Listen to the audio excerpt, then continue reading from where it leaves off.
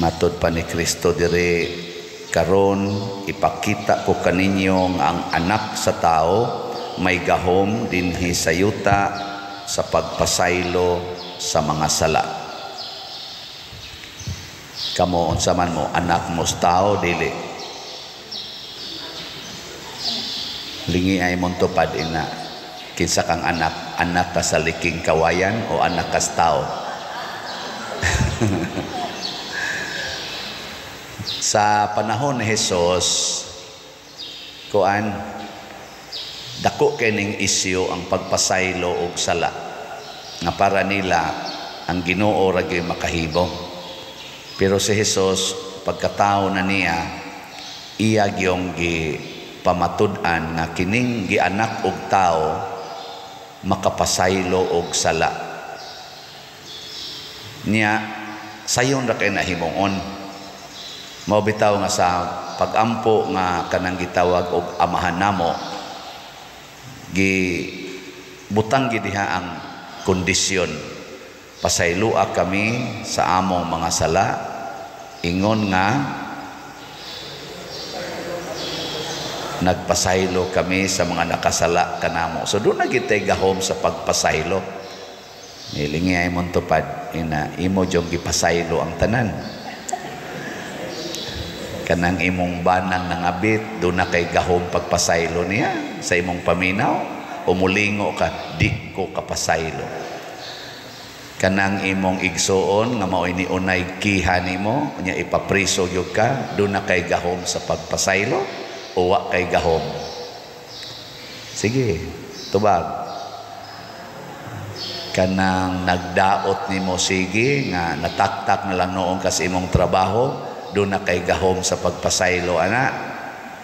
Naawa. Naa. Kanang anak nimo nga ni unay nimo og sukol karon nga didako na dak dato na. Hastang imong kabtangan giilog pa. Hastang uban nimong mga anak gidaog-daog pa. Do na kay gahom sa pagpasaylo ana. Kanang way batasan nimong anak. Kanang way tahod nimong anak napa kayo gahom sa pagpasaylo wa naaw eh. ang problema lang gamiton ba nimo o dili kana nya kining pagpasaylo og sala mao di ay siya ang sinugdanan aron dunay tinuod nga healing or pagkaayo sa atong mga balatian o mga sakit. At tanawa sa Jesus, paralitiko, gidangat to niya, unsa may una niyang gisulti, gipasaylo na ang imong mga sala. Dili di ay mahitabo ang physical healing, apil na sad ang spiritual healing, psychological healing, kung dili ta mo pasaylo og mga sala. Ano na siya?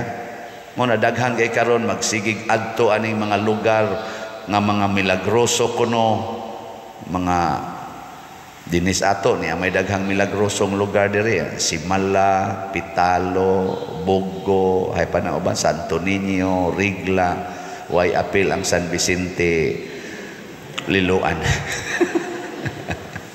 Oy, naasa tayo, naasa taon tayo ginagmay din nga healing. Na ini testimonya nga kana kunong atong suka nga gitawag nato og San Vicente Ferrer. Kuan? Kanang healing. Uh, sa to powerful vinegar. Oy na inaayong tuhod ana nga makalakaw na siya. Munang sige na siya balik-balik diri pangayog suka ang tagsa naman ng kagalon ko. Ah, nani di nani para sa tuhod siguro. Nasa ini ari diri gasongko de Pader, maayo man kuno tuhod ang imong binig powerful vinegar ngayo sa ko kay akong ihapyod na ko sige hapyori gina bantay bitaw igbalik nimo imong tuhod mahimo na nang inununan.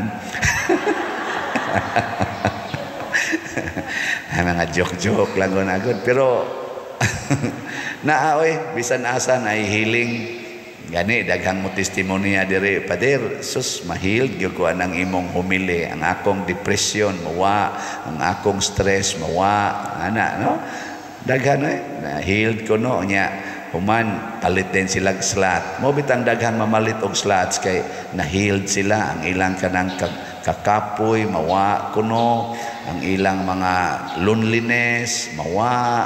Hasta pa ang ilang kalagot kalagot ngadto sa asawa kalagot sa bana kalagot sa mga anak kalagot ngadto sa ilang mga silingan. Mawa kuno. Ngilingay imong tubag ay imong tupad na tinuod nang ipanulting father nahitabo na nimo. Ha wala ha.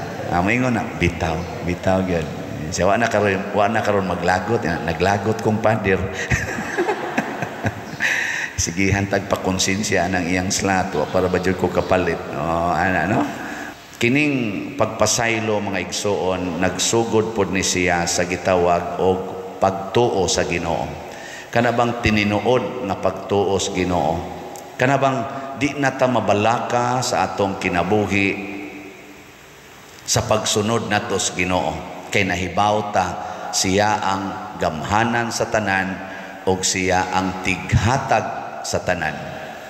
Kay usahay manggod magduda tas Ginoo ikag pasayloon ko ni Lord mo balik ni dinhi magbinuang na sad ni patay ko ani.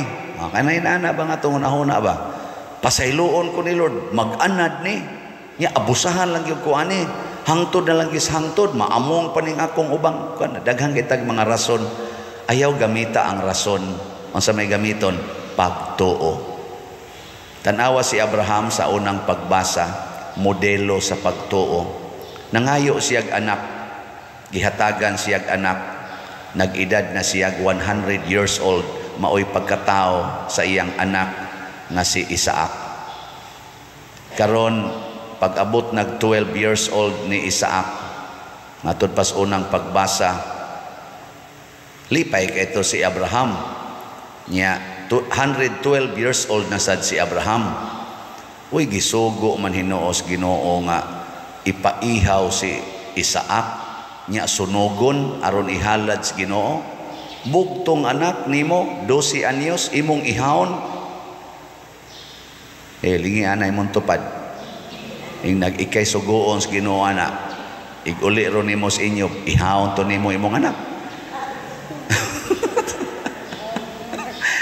Unya ra ba kana yung Ginoo ang pagkaistorya diri bagi summarize ra man pero na-imagine ako ba ingon dad-a siya ngadto adtong dapit nga akong gitudlo nimo nilakaw sila tulo ka adlaw nga nagpasan sa kahoy si Isaac nga nagda sa kayo og sa kutsilyo si Abraham. Nagpas ang tulo ka adlaw so mo pahuway gito sila nya makaon-kaon, mga tog, igmata, pas anasad. Nadugay si Isaac ng utana, ingon siya tay, ni amang kahoy para isog isunog sa halad. Na asang kutsilyo og ang kayo hain man ang ihalad. Ikaw kuno pangutanon kas imong anak-anak niya gaplano na ka nga imo siyang siya mo imong ihawon. Unsa kay imong itubag no?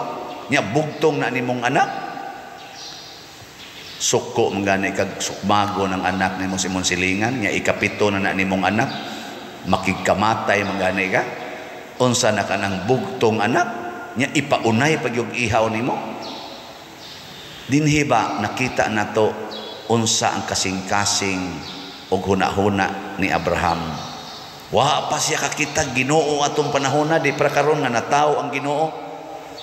Kadtong iya mga ana lang ba kanang arila sunahona. Ingon lang sad si Abraham, anak, ang Ginoo maoy muhatag og halad. Eh, lakaw lang tangan to. Pag-abot na dito katong iya nang gigapos si Isaac, di jud ako ma-imagine ilugnot sa tingali tos Isaak uy uy pag huma nagpahimutan tanan si Isaak pag nagbutang dito sa kahoy ana pag huma dayon hala anak baklira imong kamot kay ako kang gapuson kay ikay ipaihaw sa Ginoo mo ingon sa pag sure diha tayo uy unsa balihon lang ka nato tay ikaw lang 112 naman ka tiwason tiwason naman ka ikaw na lang kay akong gapuson tayo niya, ikay akong kanang kuanon, ikay akong sunogon. Nganong ako mga kadako pas akong future? 12 years old ko, kanang mga tiwasonon mo na ipatya? Ana, pero ang pagbuot sa Ginoo, si Isaac yung ipaihaw. No. talagsaon o gituma ni Abraham o nikuha na siya sa kutsilyo. Kay iya ng patyo niyang anak. Nisinggit ang ginoo Abraham ayaw gidayon. Ako nang napamatudan. Kaingon ko ba? Grabiha sa daning og testing nis ginoo murag the greatest test of all yun siya. Pero ako sang gipamalandungan di sa tusayon ang test of faith ni Mama Mary. Bugtong anak po niya, batanon, sikat na kaayo, sus sa iyang atubangan, arang-arang lang tatog siya untay ni ihaw, sa iyang atubangan, giihaw ang iyang anak, gibitay pagyud sa cross, dugay pagyud ang namatay, nya bisag patay na giduslak pagyud ang kilid at tubangan ni Mama Mary, masakit sa tingali no? Aambot lang, kamo. Uli ni mo sa inyo ang imong anak nga bisag ka ng anak ni mong tapulan kayo kanang sige lang computer gibitay sa inyong silingan. Unsa man malipay ka ka kana kana kana mo ni buhata ang buang-buang dako mana ka sus minaw ko bingong ka makikamatay jud ko pader pero sa Mama Mary wa. Ngano man si Isaac wa siya angay pasayloon Wa siya ka-exercise og forgiveness. He exercise through faith. Kinsa may iyang kalagutan og angay pasayloon atong pag-ihaw siyang anak unta. Wa.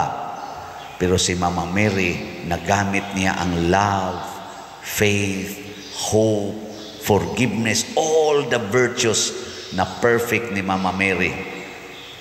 Og maunay tinuod na model of faith and healing Muna hangtod karon si Mama Mary ni stand out gyud nga the queen of heaven and earth. Iyang gi-perfect ang kadtong dili pa kayo perfect nga faith ni Abraham pero ang faith ni Abraham bisag dili pa to kay perfect makaingon kitang perfect in human standard. Ikatapos ang lingi sa imong tupad ing na mosunod ka ni Mama Mary Moingon sa naro imong tupad, Abraham lang ko eh. Abraham lang usa ko. Uh, listen no. Pero kani maoy source of power. We need to forgive in order to heal and to be healed. Di ta maali, ma, di ta maayos atong sakit kung dili ta mo pasaylo sa mga naghatag natog kasakit.